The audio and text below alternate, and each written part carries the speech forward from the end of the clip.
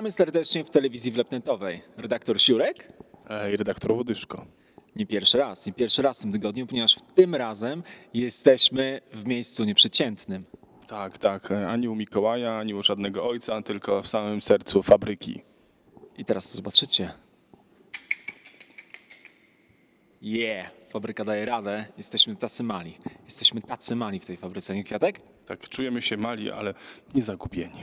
Wierzymy, wierzymy w fabrykę. Tak jest, wierzymy w fabrykę, wierzymy w to, że mogła stać się pewnym absurdalnym pomnikiem, tak, zmiany czasów, czasów, o których tutaj wam zacytuję taką pewną sentencję. Bob Blake.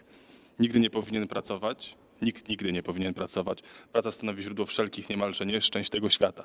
Prawie każde zło, jakie tylko można sobie wyobrazić, wywodzi się z pracy lub z życia w świecie skonstruowanym wedle wymogów pracy. Aby położyć kres cierpieniom, musimy przestać pracować. No właśnie, to był początek. To był początek tego, o czym nie mówiliśmy w zeszłym tygodniu, a więc mówimy tym razem o MCT. MCT, który działał fabrykę, zaprojektował tym razem fabrykę. Nie żaden street art, nie jakieś tam cegły, czołgi czy coś takiego. Zaprojektował street art w samym centrum Torunia, w centrum sztuki współczesnej. Łudyszko.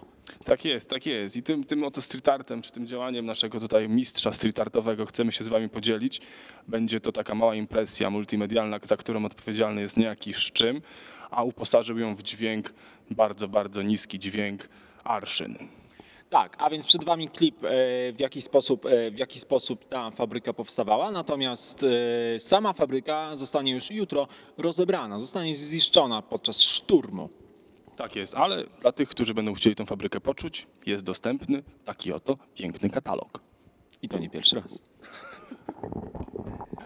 A więc zapraszamy serdecznie na klip oraz do zobaczenia w przyszłym tygodniu.